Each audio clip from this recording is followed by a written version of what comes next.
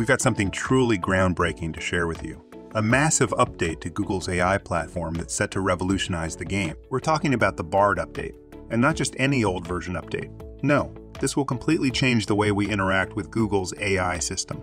In a previously released video, we discussed the major differences between Bard and ChatGPT, focusing on the issues that GPT has with fact checking and its data past 2021. Given the enormous amount of misinformation on the internet, wouldn't it be cool to know there was a place we could all go to ensure the information we're searching for was accurate and reliable? In this video, we'll be covering this very topic and all the major release features of Google's latest update.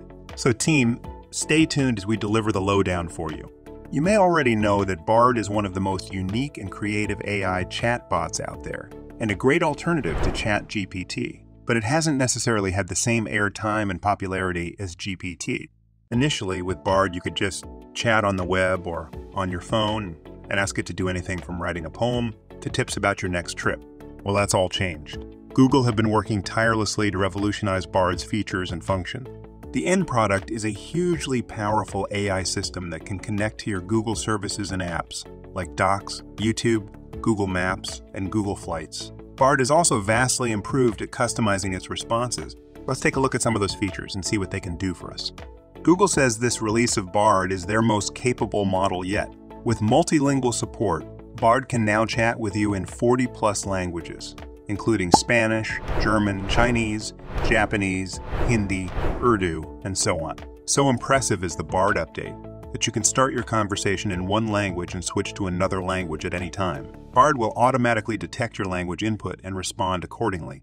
It can even translate your text or speech from one language to another. So, if you start a conversation in English and say, Hi Bard, how are you today? It'll give you an answer in English. But then start your next response in another language, for example, and please excuse my French. A key apart in YouTube, and it will respond in that language without any specification. Then ask Bard to translate this text back into English, and it'll do that too. So, with multilingual support, you can learn a new language, translate research papers, reach a wider business audience, or just impress your friends on social media. And for anyone that's trying to start a business, you'll know that building a website without the skills can be tough. Bard can now provide coding assistance with coding tasks in HTML, CSS, and JavaScript. It'll fix a bug in your code, and you can even ask Bard to create a simple website for you. The new Bard will also deliver facts, opinions, arguments, or unique perspectives on any topic you want. But most importantly, you can ask Bard to compare and contrast different sources of information or evaluate the credibility and bias of the information, which is hugely valuable in a world full of fake news. But one of the most exciting features announced in this Bard update are the Bard extensions. In fact, truly game changing. In case you're not familiar, extensions are software programs that extend the functionality of the host software like plugins. Google Bard extensions allow you to connect Google services and apps to Bard. Bard can then find and display relevant information for you from Google services. Currently, Bard supports a number of extensions that include Google apps like Docs, Maps, YouTube, and Google Flights. To get access and enable extensions on Google Bard, click the extension icon from the top right corner of the toolbar. Or you can get access via a pop up, which usually appears after you open the Bard website. You'll find that a number of extensions are automatically selected, and you have the option to enable Google Workspace as well, which includes your emails, Drive, and Docs. To use any of these extensions, you just have to mention at in your prompt. For example, if you're planning a vacation and want to use BARD extensions to help you plan the trip, you can do this by giving it a prompt like, Show me flights from New York to London. Then type, add, and select Google Flights. Click Enter, and it'll give you all the information you need. The Maps extension will provide directions, distances, travel times, traffic conditions, or places of interest for any location you need. You can ask Bard to show you the best route from your home to the office or find the nearest coffee shop or gas station.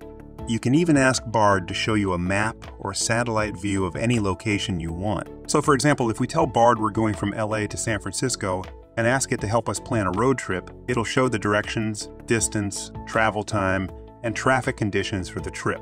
Or you can use the flights and hotels extension for your trip. You've got everything you need for your vacay, and that's not all. With these extensions, Bard can now access YouTube and show you videos related to any topic you want. Just ask Bard to show you the latest viral videos, or maybe an AI cover song you like. It's all there in an instant. Maybe you want to learn something new, like how to play the guitar. Just ask Bard for guitar tutorials type at select YouTube and hit enter.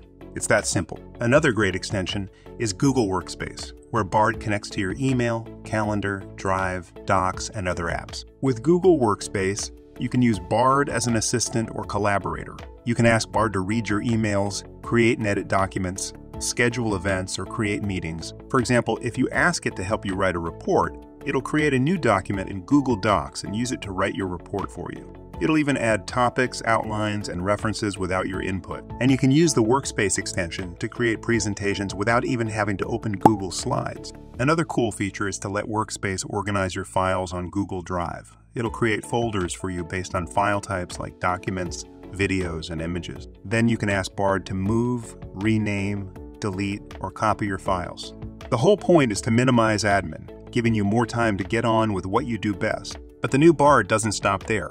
A new feature called Google It will double check and verify any Bard response. Simply hit the G button after a response from Bard, and it will validate its initial response, providing links to source materials it used. If the content is factually correct, it'll highlight in green, and by clicking on the highlighted text, it'll show you the verified source. Then you can use public link sharing, which lets you share your BARD interactions with anyone you want using a unique link that you can copy and paste anywhere. You can also choose whether you want to share your conversation as read-only or editable. When you click on a link that someone shared with you, you'll see their conversation history with BARD in a new tab, and you can either view it or join it.